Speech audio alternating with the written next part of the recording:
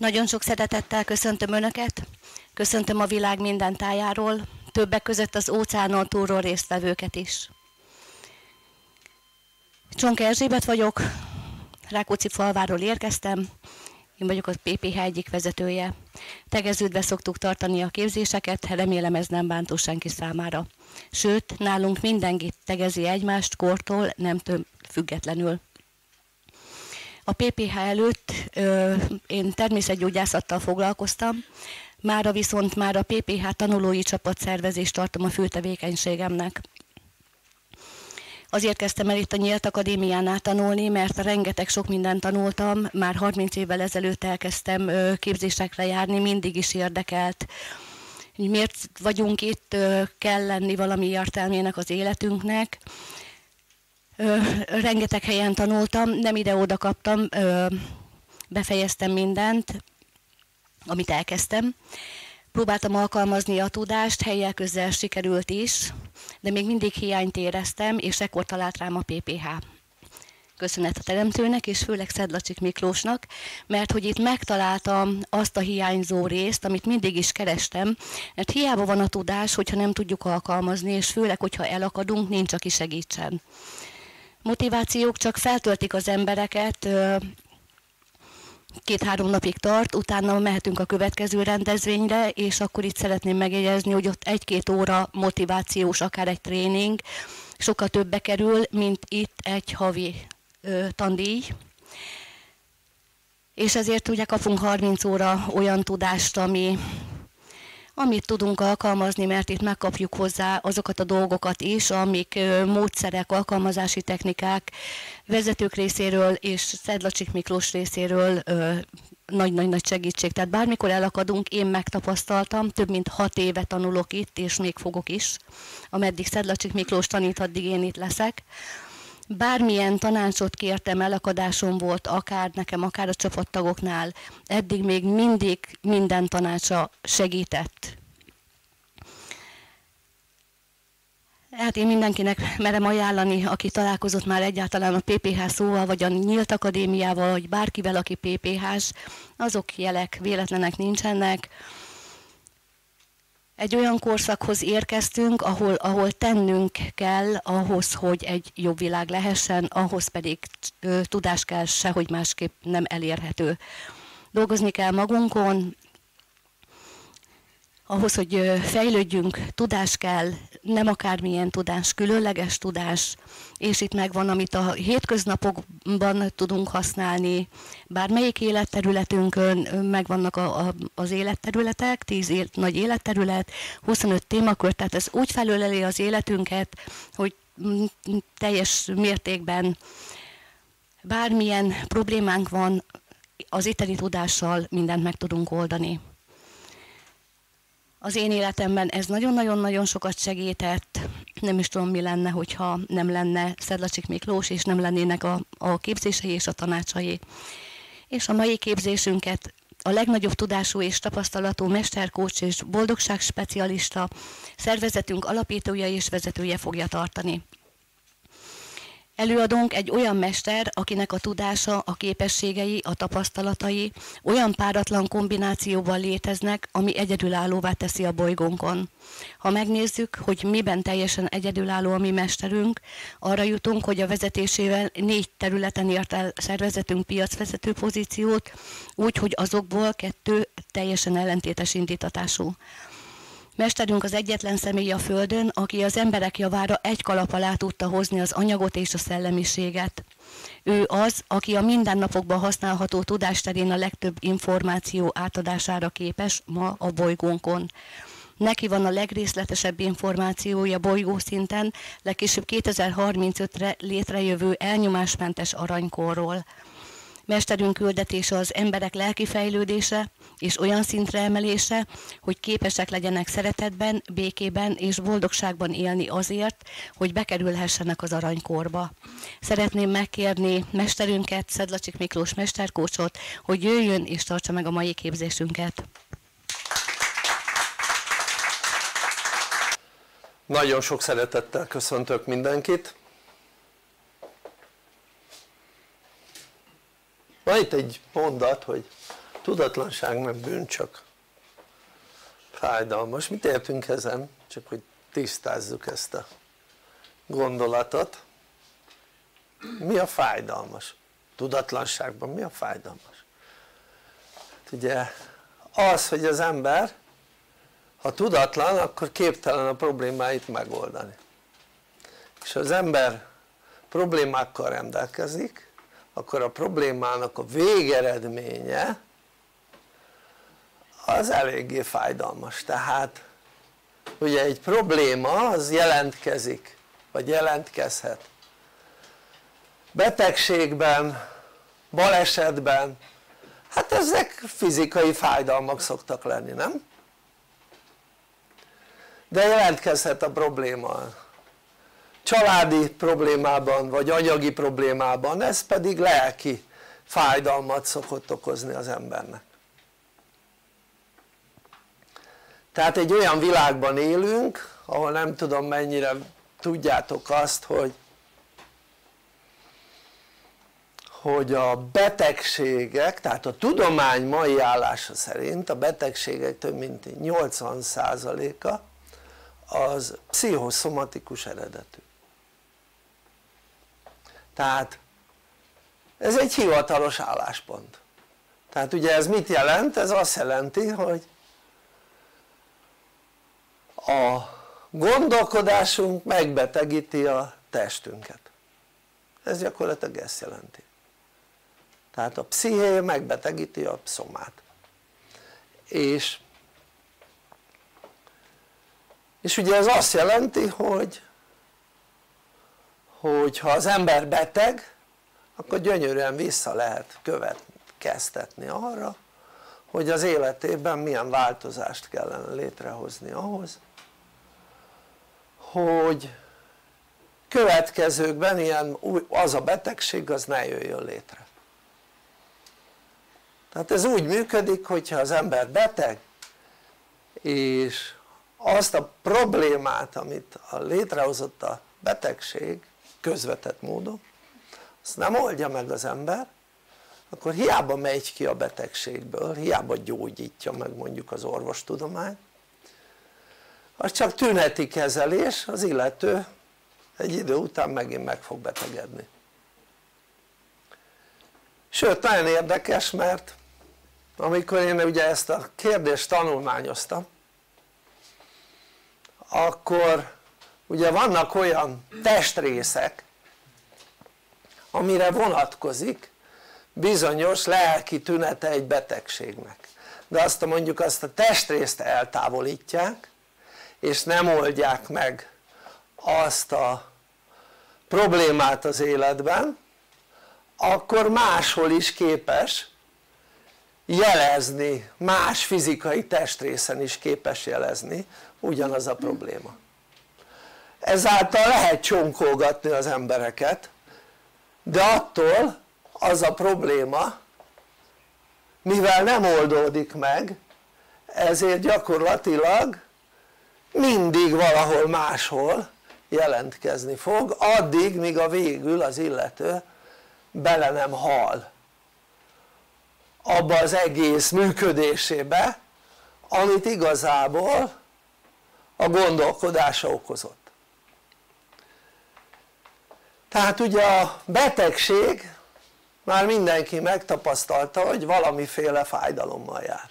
Méghozzá fizikai fájdalommal. De nem csak a betegségek okoznak fizikai fájdalmat hanem a balesetek is.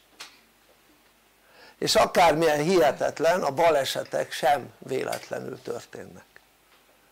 Minden baleset valamilyen figyelmetlenség következménye ami azt jelenti hogy maga a baleset amikor ezt a kérdést tanulmányoztam akkor arra jöttem rá hogy minden baleset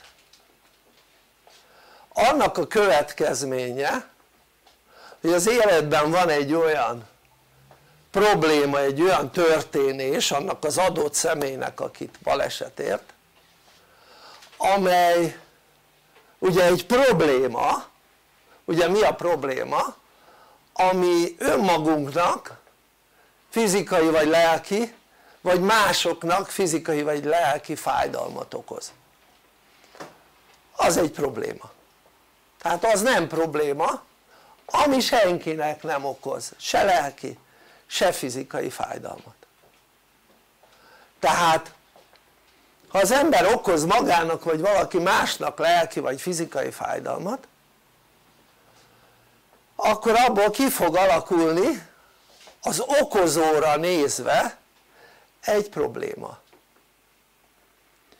Ez egy jelzés hogy az ember rájöjjön arra hogy mit kellene az életében másként tennie.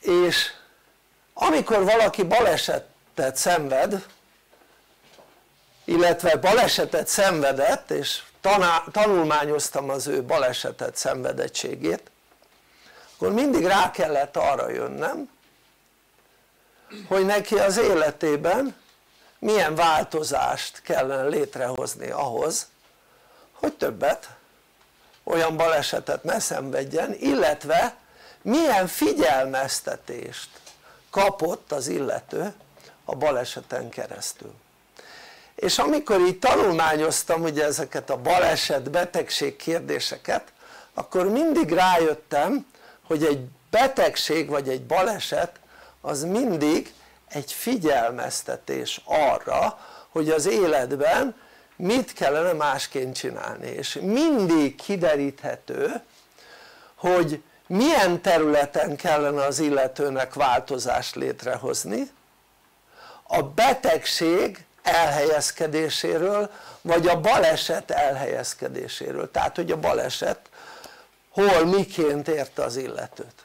Még akkor is hogyha esetlegesen az a baleset mondjuk nem fizikai fájdalmat okozott hanem mondjuk éppen az autó sérült meg amiben ő benne ült. És mondjuk utasként vagy vezetőként ugye ült abban az autóban és a, az autónak a sérülése megmutatja azt hogy az illetőnek az életében milyen változást kellene létrehoznia. És mindig minden esetben amikor valaki balesetet szenvedett közvetlen vagy közvetett formában, közvetlen amikor ő sérült, közvetett forma amikor a, mondjuk az autója sérült akkor de az is egy például hogyha a lakása sérül vagy a háza sérül az is ilyen helyzet. Egy figyelmeztetés arra hogy az életben mit kellene változtatnia. Az adott illetőnek aki ugye részese volt ennek a balesetnek. És ugyanez a betegség csak a betegség az mindig közvetlen módon jelentkezik. Kivétel akkor ha van az embernek egy 7 éven aluli gyermeke. Ugyanis a 7 éven aluli gyermek betegsége vagy balesete az soha nem a 7 éven aluli gyermekre mutat hanem mindig a szülőre mutat hogy a szülőnek mit kellene változtatni a saját életén. És most nehogy azt higgyétek hogy ez valami olyan tudás amihez valami professzori végzettség kell. Vagy legalábbis orvosi. Nagy tévedésben élsz mert nekem se professzori se orvosi végzettségem nincs és mégis bármikor meg tudom állapítani azt hogy egy baleset esetén vagy egy betegség esetén az adott személynek milyen élethelyzetet kellene változtatni. Tehát mit kellene másként csinálnia na most szóval gondoljátok végig az ember képes ilyen tudásra és bárki képes ilyen tudásra ha tanul és foglalkozik ilyen dologgal, márpedig ha az ember mondjuk ilyen dolgokat tanul akkor lehet hogy elég hamar találkozik olyan dologgal hogy foglalkoznia kellene ezzel a tudással mert hát elég sok embernek van a környezetünkben mondjuk betegsége vagy netántán balesete. Tehát ez egy olyan terület amit az ember hasznosítani tud bár ugye sok ember azt gondolja hogy a betegségek is meg a balesetek is azok ilyen véletlen műve. Én soha nem tapasztaltam azt mióta ilyen dolgokkal foglalkozok hogy a baleset vagy a betegség az véletlen műve lenne. Tehát soha nem véletlen ami azt jelenti hogy a, nagyon érdekes mert ugye a, a gondolkodásunk az csak közvetve okozza a balesetet és a betegséget.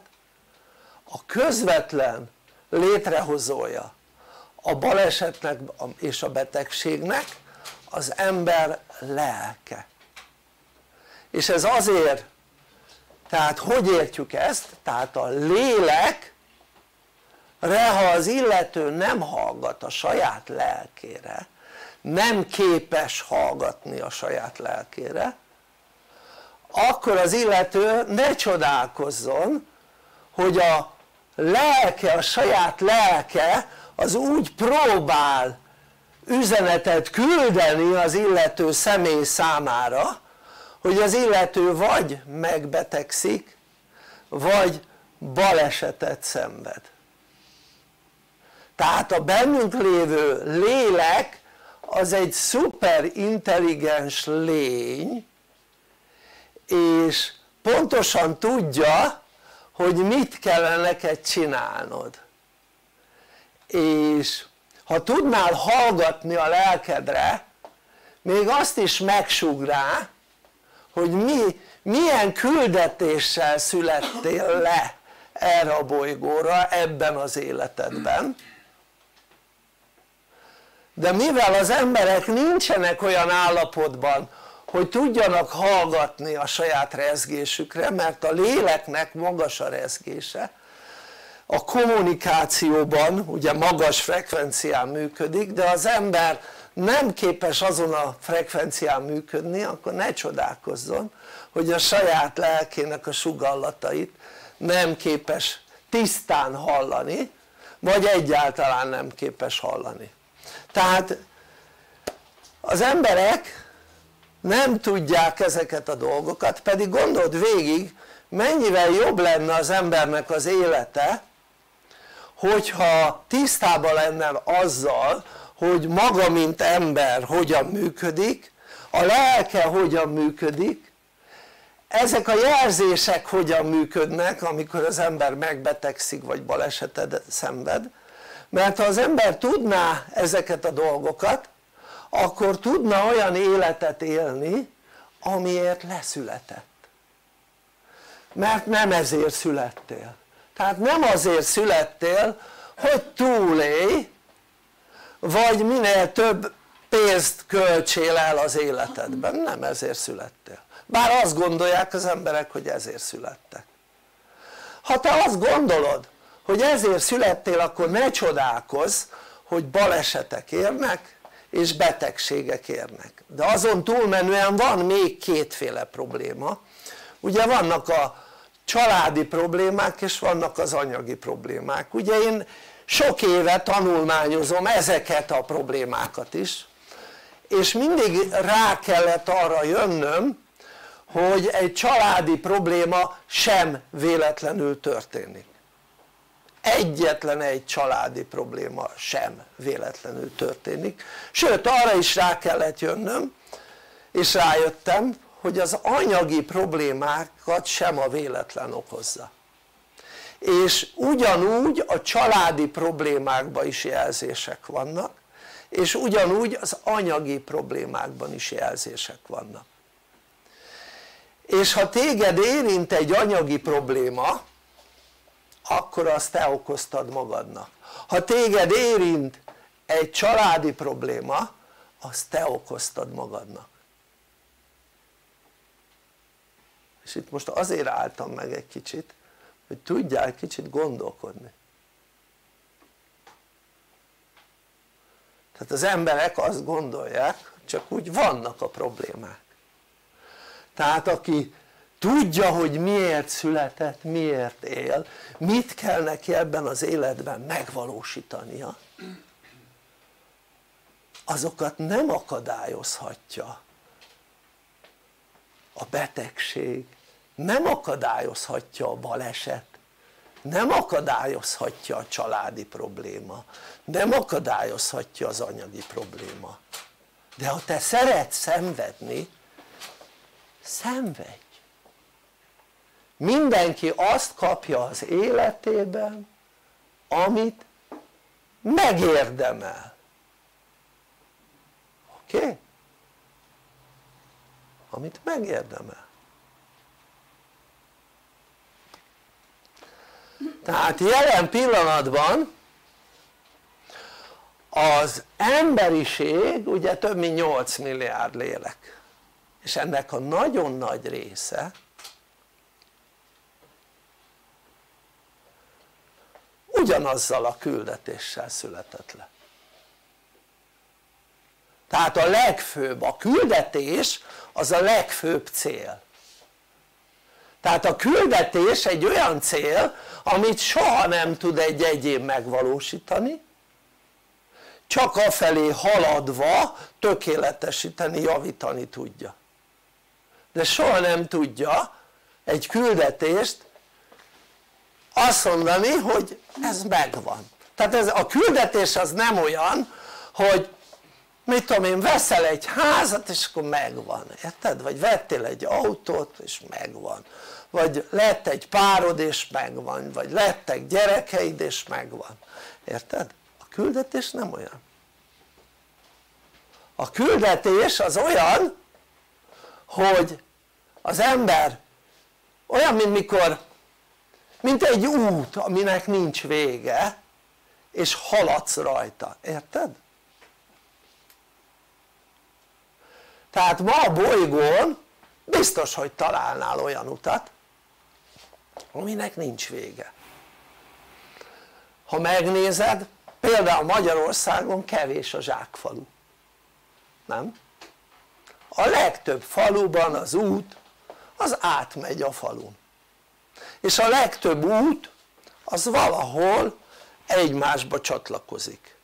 Ami azt jelenti hogy ha megnézed kevés olyan útra tudsz tévedni ahol nem tudsz tovább menni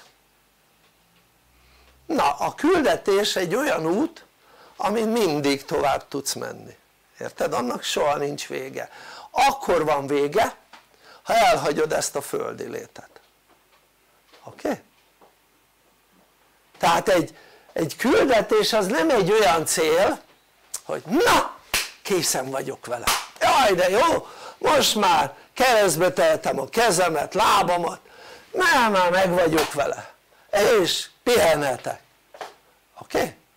nem ilyen és a bolygón a legtöbb ember aki jelenleg él élő emberről van szó annak a küldetése ilyen oké? Okay?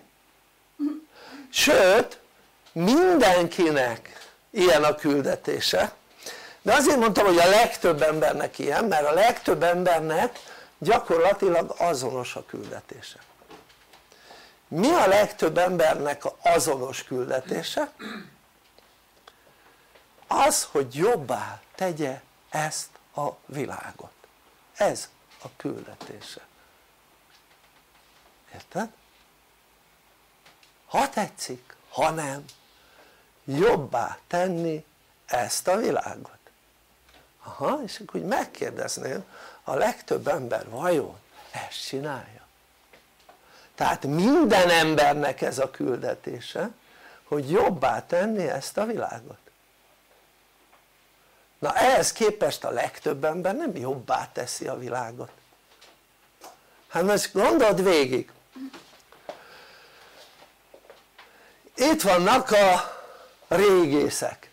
A régészek felfedeznek mindenféle régi településeket és te azt gondolod hogy mondjuk a sivatagban felfedeznek régi településeket ott régen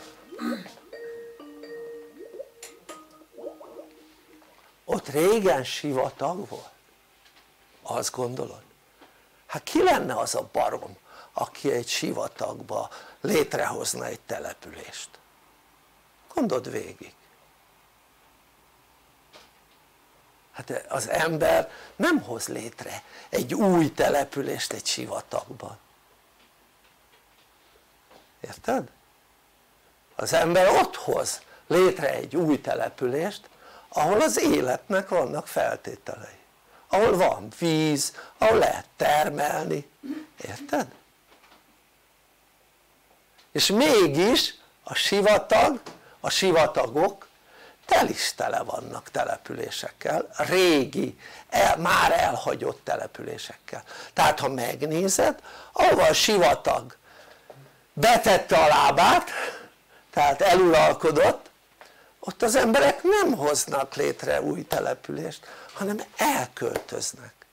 Kiköltöznek? És az emberek sőt ugye én azt látom hogy amikor ezekről a régi településekről beszélnek mintha arról beszélnek hogy ott akkor is sivatag volt ez egy baromság tehát azért éltek ott mert ott minden feltétele megvolt az életnek világos ez? és vajon hova lettek az életfeltételek? Magától eltűntek hova lettek az erdők? hova lettek a folyók? magától eltűntek hát megnézed ott ahol vannak fák hát nézd meg ott van egy földbolygó ha megnézed az egyenlítő környékén az egyenlítő vonalába a baktérítő és a ráktérítő között vannak olyan területek ami teljesen sivatag és vannak olyan területek ami totál dzsungel. Tele, tel is tele növényekkel. És ugyanaz az éghajlat lenne. Az egyenlítő környékén van a bolygón a legmelegebb a baktérítő és a ráktérítő között van a bolygón a legmelegebb és mégis a földön egy csomó terület sivatagos azon a vidéken más területeken meg szakad az eső és megnézed hogy hol szakad az eső, monszun oké? Okay? hát ott ahol vannak, vannak fák érted? hova lettek a fák? Hát nagyon egyszerű, kivágták felélték a fákat oké? Okay? és nem telepítettek helyette újat vagy azt csinálták hogy mit tudom én leégett és akkor utána ráeresztették arra a fűre a sarjadó növényzetre mondjuk a kecskéket meg a juhokat és szegény fák nem tudtak fölnőni érted? mert a kecske nem mondja azt hogy meg a juse hogy hű hát ez egy kis fa akar lenni azt nem legelem le.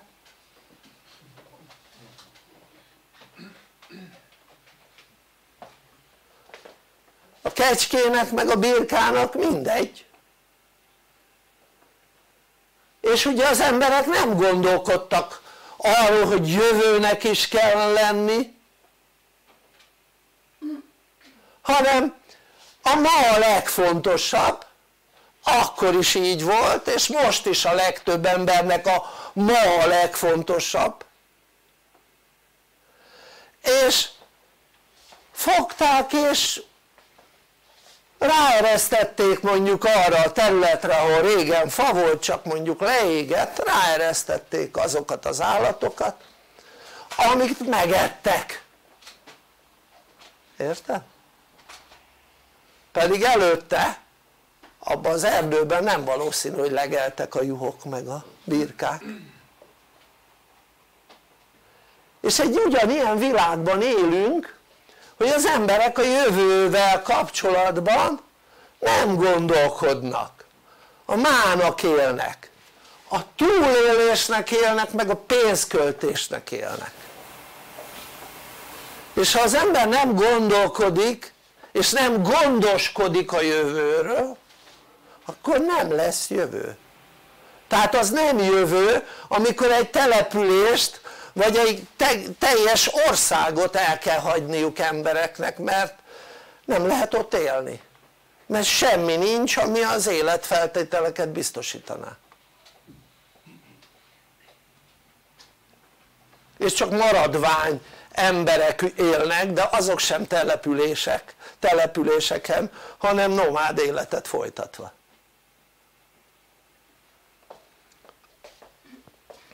tehát most itt van egy óriási projekt a világban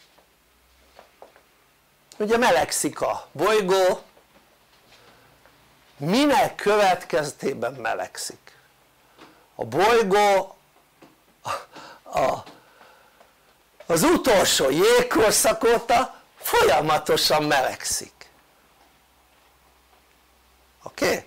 Az utolsó jégkorszak az sok ezer évvel ezelőtt volt és a bolygó azóta rendszeresen, folyamatosan melegszik persze vannak kisebb visszaesések de a trend az a melegedés, miért? Mert a jégkorszak azért jött létre annó annak idején mert egy olyan katasztrófa történt ami beárnyékolta a napsugár, napsugárzást. Hosszabb időre. Ami azt jelenti hogy mondjuk mondok példát.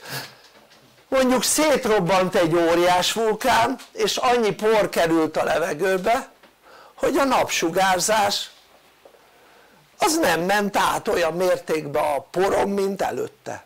Vagy becsapódott egy óriási meteor szárazföldbe természetesen mert ha vízbe tenger, óceánba esik akkor nyilván cunami lesz belőle de ha szárazföldbe csapódik akkor óriási porfelhő lesz belőle ami azt jelenti hogy az egész bolygón szétterjed és óriási hidegek vannak az északi és déli részen. Az egyenlítőn is alig lehet ugye megélni mert kevés a napfény. És létrejött ugye ezáltal a jégkorszak, a jégkorszak többször volt már a föld életében.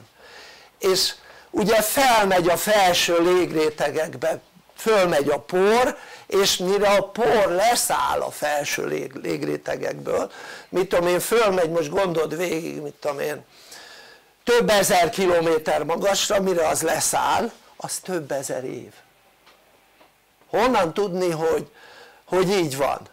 hát nagyon egyszerű ugye én számos olyan helyen voltam ahol a régészek kiástak településeket és mit tudom én akár 4-5-6 méter föld volt a településeken érted? a föld miből jött létre? porból nem úgy jött létre hogy az egyik területről átfújta a szél mert akkor ott luknak kéne lenni hát honnan jött az a 4-5-6 méter föld? az 4-5-6 méter por szállt le fentről oké? Okay? Leszállt a por és föld lett belőle idővel. És rátelepültek a növények. És utána meg a régészek kiásták 4-5-6 méter mélyről vagy akár még mélyebbről hát hogy száll le por azt tudod? hát a lakásodat akárhogy zárod be akkor is bemegy por. Mindenen por van egy idő után. Hát jön le a por hát most gondold végig az egész bolygón jön le a por nem bizonyos területeken száll le a por hanem az egész bolygón száll le a por ami azt jelenti hogy nem helyet cserél a por a bolygón hanem fentről a felső légrétegekből száll le. És minél több por száll le hát nyilván annál melegebb van. Annál kevésbé szűri a napot. Világos ez? Minél több a por annál hidegebb van. Minél kevesebb a por a légrétegekbe annál melegebb van. Ezért kísérleteznek az embereken meg a bolygón azzal hogy bepermetezni a földet olyan a légrétegeket olyan anyaggal ami visszaveri a, a fényt hogy nem melegedjen a bolygó csak az a baj hogy az alumínium az alumínium meg mérgező anyag oké? Milyen alu, mi, mi ez? hát ha megnézed ugye a konvex csíkok mióta vannak szuperszónikus gépek tehát lökhajtásos gépek azóta vannak konvers csíkok de a konvers csík az gyorsan feloszlik és most megmagyarázzák hogy azok a kondenscsíkok amelyik a látótér egyik széléből a másikig átmegy az kondenscsík. Az nem kondenscsík az chemtrail. Az alumíniumnak egy bizonyos valamije ötvözete vagy nem tudom mi a manója mindegy állapota és azt a, most már az üzemanyagokban régebben pár évvel ezelőtt még már még nem már az új gépeknél az üzemanyagokba teszik előtte pedig szándékosan permetezték az a szándék hogy ezáltal ugye a légréteg koszosabb legyen és nem elegedjen úgy a bolygó, érted? de hát az alumínium az idegméreg az idegméreg ami azt jelenti hogy az emberekre emberek egészségére ártalmas. Ami azt jelenti hogy az alumínium az a levegőnél nehezebb és le fog szállni.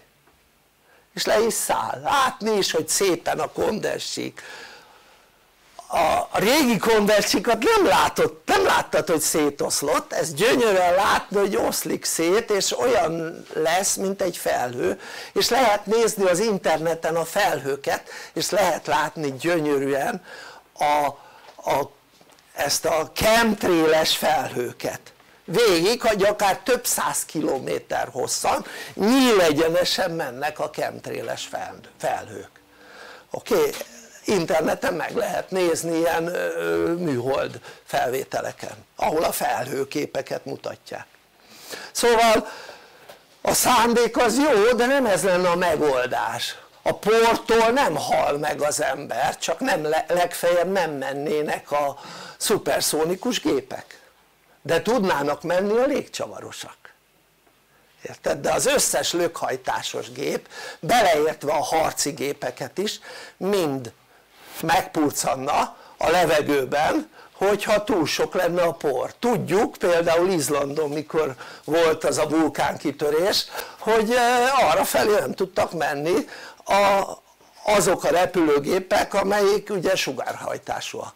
De a légcsavarosak azok tudnának ugyanúgy menni mert hát a, a szűrő, a levegőszűrő az kiszűri a port az nem gond, legfeljebb többször kell cserélni. Legfeljebb minden útnál ki kell cserélni a levegőszűrőt és már tud, mert ugye azok rendes négyütemű motorokkal működnek ugyanolyan motorokkal mint az autók a légcsavaros gépek. Szóval nem az lenne a megoldás hogy mérgező anyagokat kellene bepermetezni a, a légtérbe hanem az lenne a megoldás hogy föl kellene robbantani egy-két olyan területen lévő vulkánt ahol emberek nem sérülnének meg. Vannak ilyen területek a bő, bőven a földön működő vulkáról beszélek. Tehát vannak olyan működő vulkánok amit, amit ugye ilyen gejzérekben tör ki meg egyéb amit fölrobbantanának mit tudom én Kamcsatkán stb. stb.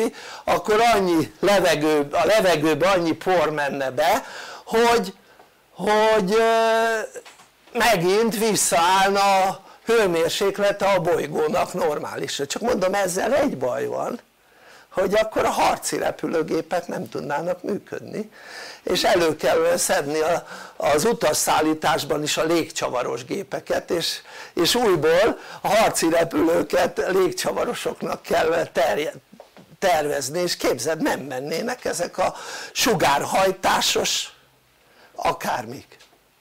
Nem működnének vagy új technológia kellene ami a földön kívülieknek megvan sugárhajtás nélkül tudnak közlekedni de az embernek még a leggyorsabb közlekedési módja az a sugárhajtásos repülőgép. És a sugárhajtásos repülőgép ha sok a por a levegőben akkor nem működik. Ezért nem csinálják.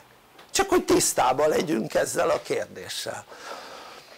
Szóval bebizonyított tény hogy például mikor a Krakatau vulkán fölrobbant mennyi millió köbméter millió köbméter por ment föl a légtérbe és a bolygónak hány fokkal csökkentette mennyi időre a hőmérsékletét?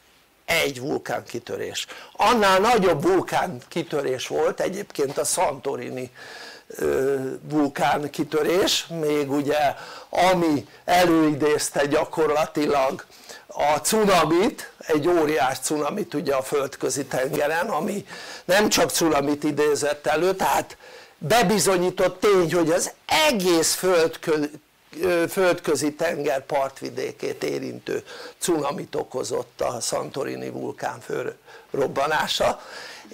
És megszüntette Krétán a minoszi kultúrát. Úgy ahogy volt, nem a, a cunami hanem a légnyomás. A légnyomás. Maga a légnyomás. Tehát ugyanúgy volt például a, a Krakatau vulkánnál is hogy mit tudom én hány 10 kilométerrel lévő településeket a légnyomás elsöpört hát ez olyan mint az atombombának a légnyomása tudod jó? tehát ugye bármilyen robbanásnak van légnyomása tehát egy vulkán mikor fölrobban ott hatalmas légnyomás következik és sok millió tonnányi por kerül föl a felső régrétegekbe ami lassan száll le természetesen tehát ugye azért száll le lassan mert ott ritka levegő vagy nincs is levegő gyakorlatilag és idő kell mire leszáll. Szóval lényeg az hogy egy olyan világban élünk ahol megoldások lennének, nem az a megoldás érted hogy chemtrailt fecskendeznek be. Meg nem az a megoldás érted hogy, hogy csökkentsük az autók emisszió kibocsátását. Miért nem megoldás? Hát most gondold végig ugye a szénmonoxiddal meg a széndioksziddal van bajuk. Közben a, a, a növényeknek meg az kell a növekedéshez. Minél több a széndiokszid meg a szénmonoxid a levegőben a növények annál jobban nőnek. Ez tény, ha nem hiszed járj utána, ez így működik. Hát a fotoszintézis ezt jelenti hogy kivonja a szenet a levegőből érted? és maga a növény a szénből van és ezáltal nő, minél több szenet tud kivonni a, a levegőből annál jobban növekszik a növény oké? Okay? tehát ezt meg kipróbálták azt is hogy ilyen széndiokszidúsabb környezetben növelték a, vagy neveltek növényeket és sokkal gyorsabban nőttek a, a növények szóval lényeg az hogy hogy most gondold végig mondják ez, ez, ez a heppen mivel alapszakmám. Ugye az autó az alapszakmám. És ez a heppen hogy ez a villanyautó meg a hibrid autó, főleg konnektoros hibrid autó, érted? ez az emberek etetése, na most nézzük miért etetése. Hát most gondold végig a mai világban mert még, még eddig úgy valahogy el lehetett azt adni ezt a kérdést de a mai világban amikor azt olvashatod hogy a szén fogja megmenteni az, ember, az Európát érted? a szén magyarul a villanyáram nagy részét gáz helyett szénnel fogják előállítani érted? ami azt jelenti hogy a szénerőművek azok százszor jobban szennyezik a, az, a levegőt mint, a, mint az autók. Az autók ahhoz képest alig szennyezik a levegőt. És olyan a, a, a, az energia tudatos emberek olyan autókkal fognak járni ami szénerőműből van termelve az áram, érted? mert a gáz drága nevetséges. Nevetséges, érted? nevetséges. Szó szerint. És ezt nem gondolják végig emberek hogy ő mint környezet tudatos ember azért akar venni elektromos autót vagy mondjuk mondjuk hibrid autót mert hogy kevésbé szennyezi a, a környezetét. Hát nem igaz mert az áram miatt ugye mivel az áramot közel nem olyan erőművekben állítják elő amelyik annyira szűrve lenne mint az autó kipufogója ezáltal sokkal jobban szennyezik a környezetet. Ráadásul arra nem is beszélve hogy, hogy az hogy az akkumulátor megsemmisítése stb nem is ez a lényeg hanem az hogy van egy tény. Meg tudom bárkinek mutatni itt még technikám is van hozzá amit úgy hívnak hogy elektroszmog tehát az elektroszmogot az áram erőssége állítja elő. Minél nagyobb az áramerősség annál nagyobb az elektroszmog és mit jelent az elektroszmog? az elektroszmog azt jelenti hogyha elektroszmogban vagy akkor idegesebb leszel, feszültebb leszel, nem tudod magad kipihenni, sokkal több hibát követsz el, sokkal fáradékonyabb leszel, ezt idézi elő az elektroszmog. Tehát például, csak egy példát mondok, ha úgy alszol hogy van egy vezeték a falban közel a fejedhez és abban áram folyik akkor ne csodálkozz hogy az alvásod az nem nyugodt oké? Okay? ami annyit jelent hogy minél nagyobb áram folyik abba valamibe, abba a vezetékbe nem véletlenül régen ólomcsőkbe rakták a villanyáramot tehát ólomcsőbe rakták régen a villanyáramot utána meg ilyen alumíniumcsőbe volt rakva a villanyáram azért mert a fém az leárnyékolja az elektroszmogot oké? Okay? vagy ha vezeti az áramot hát akkor meg nem árnyékolja le. Na mindegy. Szóval lényeg az és képzeld el beülsz egy rendes autóba akármilyen, te benzines vagy dízel autóba ami nem elektromos abban is van elektroszmog és az elektroszmog ellen védekezni kellene. A telefon is kibocsát elektroszmogot csak úgy mondanám. Főleg mikor ide teszed na akkor meg elég közelről bocsát ki elektroszmogot de nem is ez a lényeg hanem minden autó elektroszmogot bocsát ki miért? azért mert vannak benne vezetékek és folyik benne áram de mennyi áram folyik? 10, 20, 30, max 40 amper önindítázáskor folyik csak nagyobb érted? ennyi a villanyautók általában 48 voltos árammal működnek és mondjuk legalább ilyen 50 kW működéssel.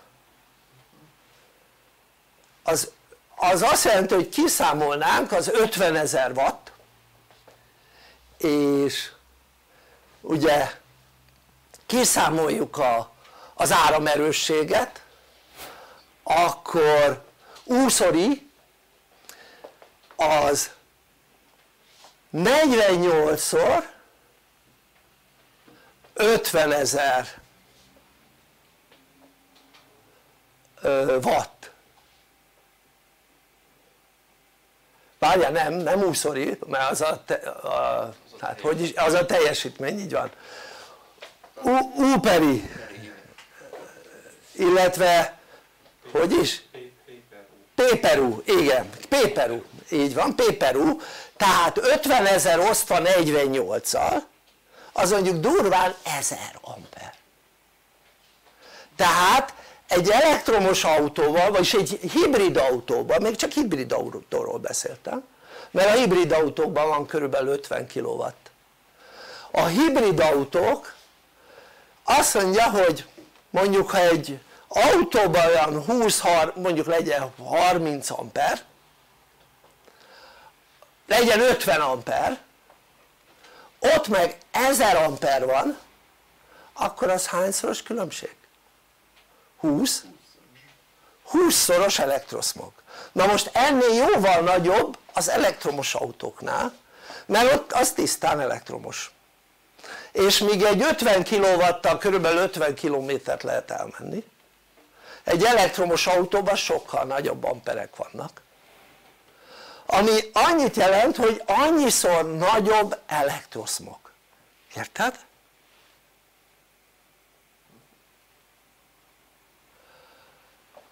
és ráadásul a fém az tovább vezeti az elektroszmogot. Tehát ami annyit jelent hogy gondold végig mert ugye nem tökéletesen zárt. Hát hogyha olyanban csinálnák ugye a vezetékeket hogy tökéletesen zárt akkor fémben zárt akkor nem lenne elektroszmog de mivel nem tökéletesen zárt ezért az elektroszmog kijön. És gondold végig beszéltem taxissal aki elektromos autóval taxizott és nem értette de most ennek hatására mi értette amikor ilyenről beszéltünk hogy miért sokkal fáradtabb mióta elektromos autóval taxizott vagy miért volt sokkal fáradtabb mikor elektromos autóval taxizott mint előtte amikor nem elektromos autóval taxizott érted? tehát megveszik az emberek az elektromos autót vagy a hibrid autót hogy tönkre tegyék magukat érted? tehát ilyen áramerősséggel szemben semmi nem véd. Semmi nem tud védni. A 220 a lakásban az áram ugye a feszültség 220 volt és általában ugye 10-20 ampereket fogyasztanak az emberek. Van aki egy kicsit többet ugye? De az már ilyen 4-5 kilowattaknak kell lenni hogy több legyen. Tehát általában ugye egy 3 kilowattos fogyasztás az 16 amper. Tehát gyakorlatilag annyi de egy autóba ennek a 30-50 százszorosa vagy több százszorosa egy elektromos autóban lehet, érted? és ott közlekednek az emberek vele és közben tönkre teszik magukat hát csinálják nyugodtan. Ha ennyi eszük van és nem tudnak utána járni dolognak. Tehát ezt jelenti a tudatlanság amikor az embernek eszébe nem jut hogy utána nézzen dolgoknak. Mondom eszébe nem jut. Hanem azt gondolja hogy amivel amivel megjelennek a reklámokba az úgy jó az nekik kell. Mert a, nyilván gondol, azt gondolják hogy nyilván olyan ami, ami egészségkárosító azt nem reklámoznák. Aha. Na most akkor úgy csak úgy mondanám hogy az összes gyógyszer az kőolaj alapú. Az összes gyógyszer. Tehát a gyógyszerrel kőolajat viszel be a szervezetedbe érted? tessék? na most és az ember nem gondolná hogy a gyógyszerek mellékhatása az nagyobb hatás mint a, ami, amire gyártják a gyógyszert tehát nem tudom tudod-e hogy többen halnak meg beteg gyógyszer mellékhatásból mint, mint betegségben. Tehát mint betegségben. Tehát gyógyszer mellékhatásától többen halnak meg mint betegségben. Pedig az ember azt gondolná hogy a gyógyszer azért van hogy gyógyuljon tőle az ember. És nem is gondolná hogyha nem nézne utána az ember hogy ez az egész hogy van. Tehát eleve nem tudom tudod-e hogy a gyógyszereket mikortól kezdték el gyártani? Nagyüzemileg tehát nagyüzemileg mikor kezdték el gyártani? Amikor Rockefeller kénytelen volt kereszt részvényeket vásárolni gyógyszer készítő gyárakban, vegyi gyárakban. Tehát akkor még nem gyógyszert készítő gyárak voltak hanem vegyi gyárakban. Tehát vegyi gyárakban kellett neki, miért kellett? azért mert az amerikai kőolaj kitermelés 70%-a az ő kezébe volt. És hogy a kormány ezt megakadályozza el kellett adnia a részvényeket és kereszt részvényvásárlás történt tehát eladott ők megvették tehát a vegyi gyár vette meg az ő kőolaj részvényeit érted? ő meg megvette a vegyi gyár részvényeit világos ez? és onnantól kitalálták azt, ezt tudjátok mikor volt? a második világháború idején volt és onnantól gondolták azt ki hogy hát, hát nem, nem -e lehetne esetleg a kőolajat a gyógyszer gyártásban hasznosítani. Ennek utána tudsz ezeknek a dolgoknak ez egyébként nézni simán, ez így történt. És nem tudom tudjátok-e hogy milyen vegyi gyárban vett részesedést a hitleri Németország úgynevezett Igülfarbe című vegyi gyár, vagy nevű vegyi gyárában csinált keresztrészvényezést, érted? Igülfarbe amely a hitleri Németországnak a működését pénzelte oké? Okay? hát minden nagyobb cég akkor pénzelte a, a hitleri állam működését Németországban természetesen az Igülfarbe is érted? és on, onnantól indult el az például az USA-ban amikor vegyi gyár tulajdonos lett ugye a Rockefeller hogy a természetgyógyászatot elkezdték visszaszorítani törvényekkel és kuruzslásnak minősítették a természetgyógyászatot már az 50-es években Rockefeller hatására oké? Okay? No szóval ezt most csak azért mondtam hogy ha azt gondolod hogy a reklámokban elhangzott dolgok azok mindig az emberek érdekeit szolgálják és, és ha reklámoznak akkor az nyilván nem lehet az emberek ellen hát lehet hogy tévedésben élsz.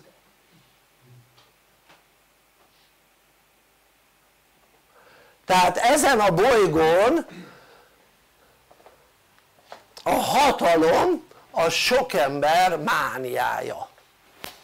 És, ma, és az elmúlt időszaktól ugye a múlt századtól a hatalom és a pénz az összekapcsolódott.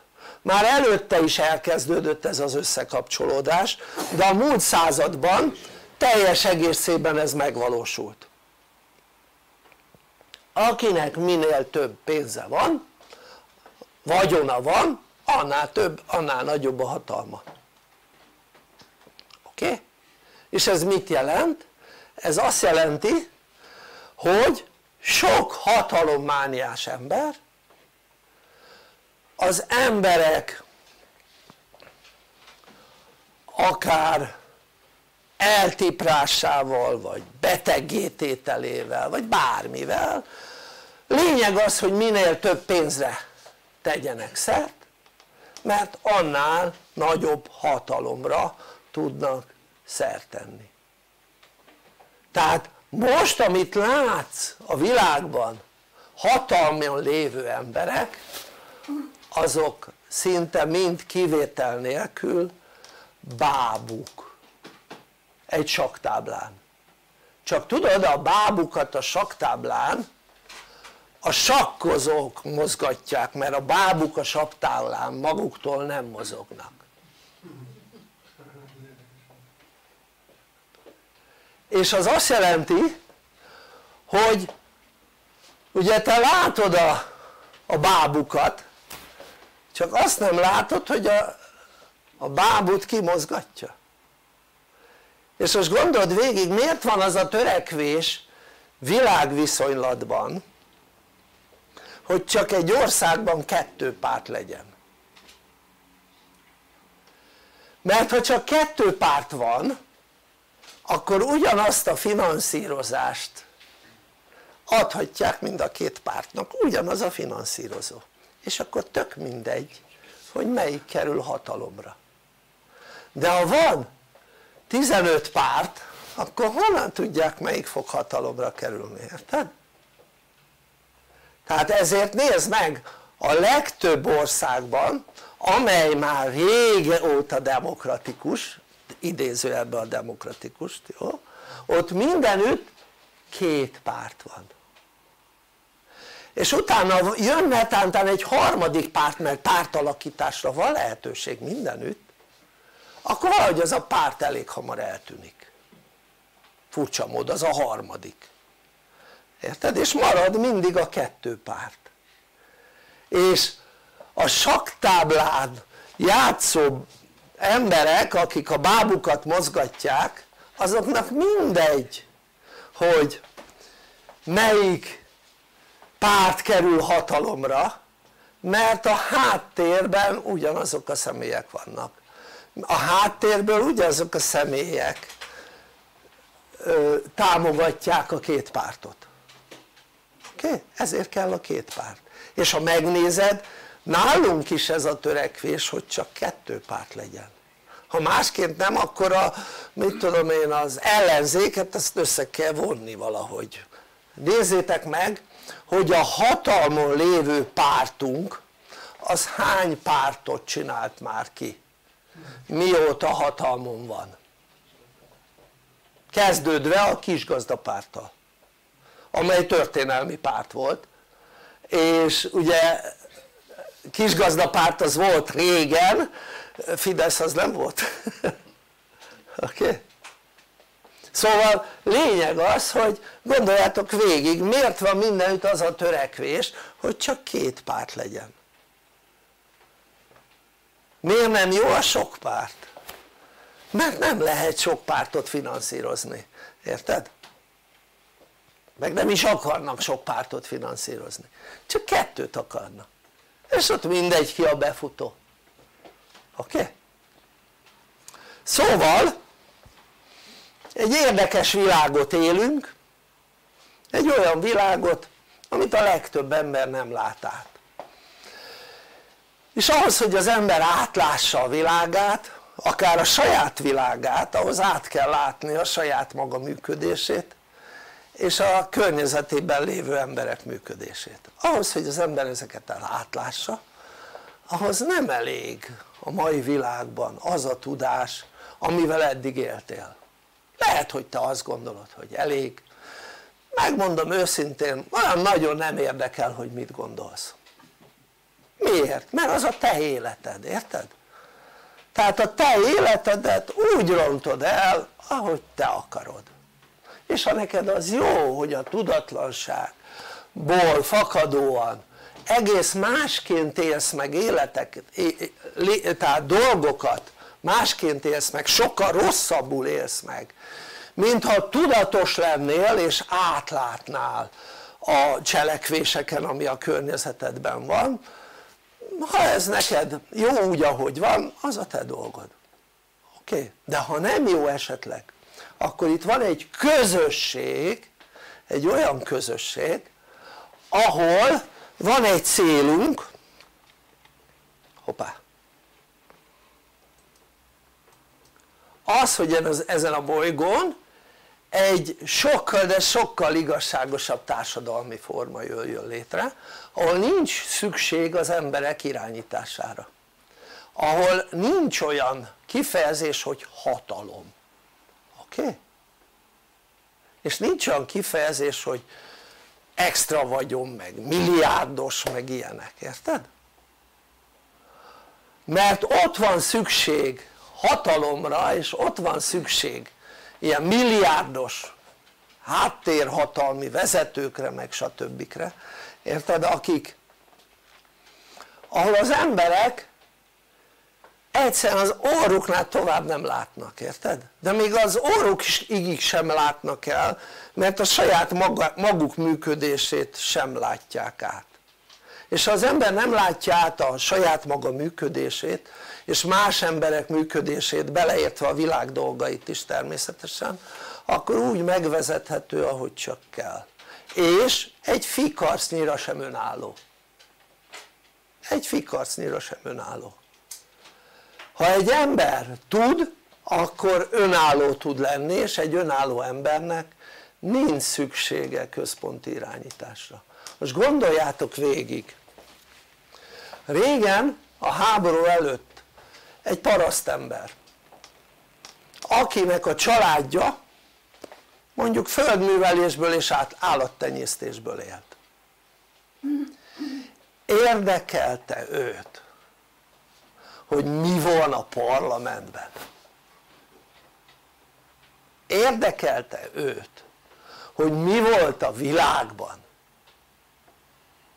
Érted? egy az hogy nem is tudott róla de nem is érdekelte.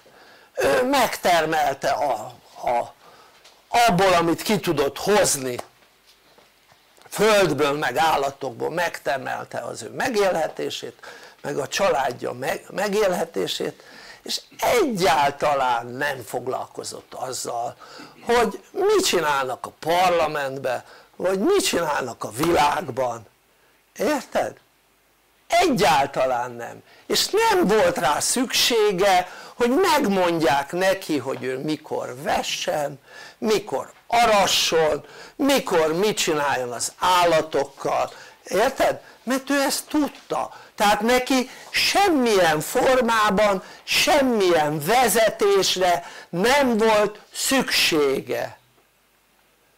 Mert ő az egész életét maga irányította, érted? őt nem kellett irányítani, világos ez? tehát ez működött, lásd már át hogy ez működött egy olyan társadalmi forma létrehozásával ahol az alkalmazottak vannak túlnyomó többségben ott ez megszűnt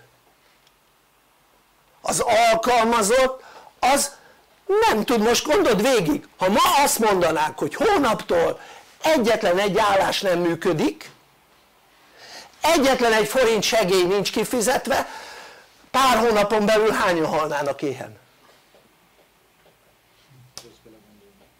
Hm? régen mit érdekelte őket érted? simán működtek, érted? őket nem kellett irányítani, nem kellett nekik állást adni, nem kellett nekik vetőmagot adni, nem kellett állami támogatást kapniuk, működtek, érted? semmilyen vezetésre nem szorultak, működtek ma az emberek 97%-a vezetésre szorul, sajnos. És az neked jó hogy vezetésre szorulsz? nem kellene megtanulni saját magad vezetését? Nem kellene a saját életednek az irányítását a saját kezedbe venni? Lassan jön az az időszak hogy a jég hátán is meg kell élned és hogy fogod ezt megcsinálni? jó nem jég lesz meleg érted? érted? mindegy de meg kell élned magadtól, hogy fogod megcsinálni? Hm? ez a helyzet elkezdi a vállalkozások jó részét tönkre tenni ami most van sokkal nagyobb probléma van mint a Covid idején. Sokkal nagyobb probléma mert ez tartós. A Covidról tudtuk hogy az nem lehet tartós. Tehát azt nem lehet évekig csinálni. Tehát egy olyan helyzet jön ahol te nem tanulsz olyan dolgokat hogy képes legyél önálló lenni és a saját életed irányítását a saját kezedben tartani. Te nagyon rábaltázol nagyon. De nem kell rám hallgatni csak az a baj hogy az amit én elmondtam eddig bármit a jövővel kapcsolatban az elmúlt 25 évben az mind bejött. Oké? Okay? ez a probléma. Mondom nem kell rám hallgatni. Éld úgy az életedet ahogy akarod. Nekem aztán mindegy. Azt sem kell meghallani tőlem hogy 35-re aranykornak kell lenni mert különben nem fogod megélni, érted? a 35-öt ezt se kell meghallani.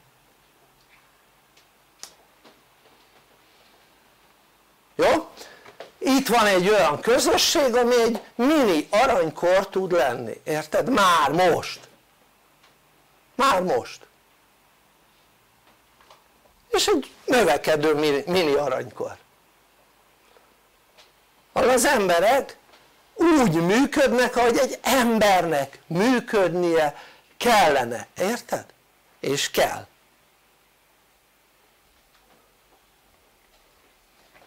De, de ne lásd át a dolgokat. Az a te bajod ha nem látod át. Köszönöm szépen a figyelmedet. Visszadom a szót a háziasszonyunknak a saját érdekedben mondtam el ezeket a dolgokat. Szeretlek benneteket, sziasztok!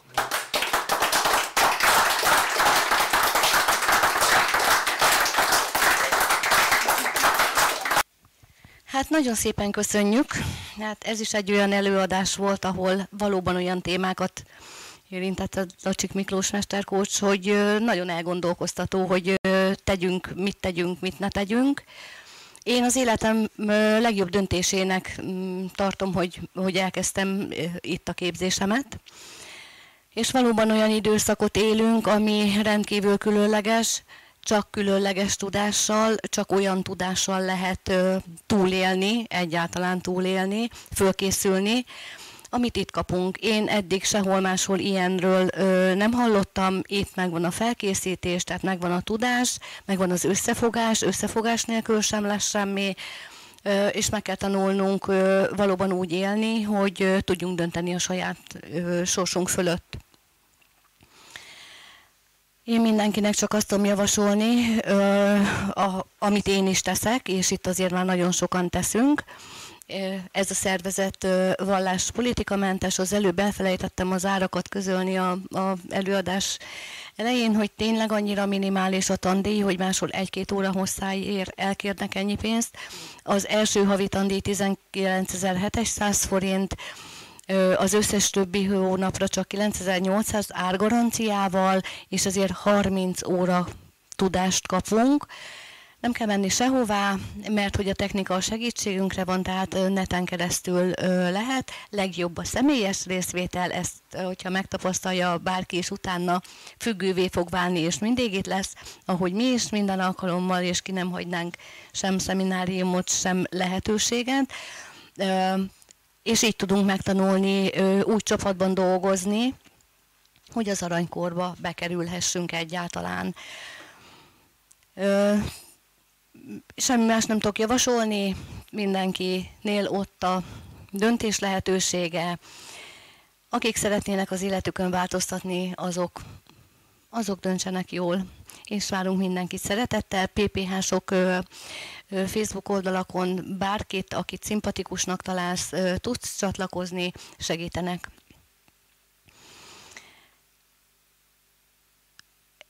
Szünet után önismeret coach képzésünk következik, amelyen, ha szeretnél részt venni, várunk szeretettel. Ha úgy látod, hogy nem érdekel az ajánlatunk, örülünk, hogy részt vettél, megtiszteltél minket, és elköszönünk tőled. Most 30 perc szünet következik.